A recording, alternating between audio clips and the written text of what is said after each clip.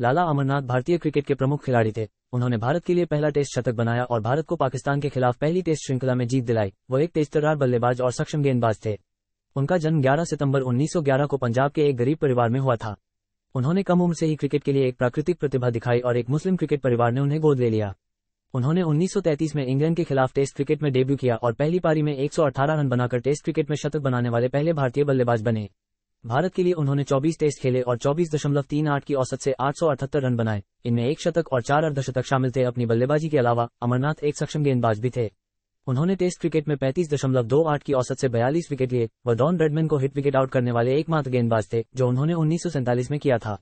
अमरनाथ एक सफल कप्तान भी थे। उन्होंने उन्नीस सौ बावन में पाकिस्तान के खिलाफ पहली टेस्ट श्रृंखला जीत में भारत का नेतृत्व किया। अमरनाथ एक प्रेरणास्पद लीडर थे, जिन्होंने अपनी टीम को जीत के लिए प्रोत्साहित किया और भारतीय क्रिकेट के भविष्य की नींव रखी। उन्हें खेल के सच्चे दिग्गज के रूप में जाना जाता है और उनकी विरासत बहुत सालों तक जीवित रहेगी।